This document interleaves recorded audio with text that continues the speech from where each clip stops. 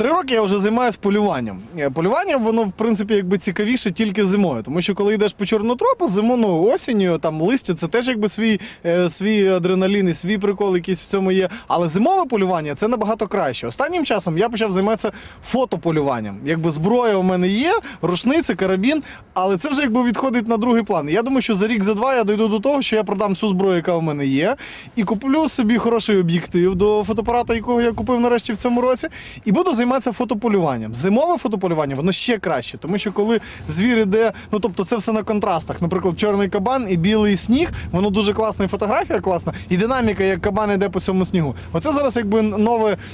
Нове захоплення у мене як саме зимою, ну і в цілому, якби фотополювання в протягом всього року. Але зимою воно мені чомусь особливо подобається, і я думаю, що я буду саме продовжувати цим займатися.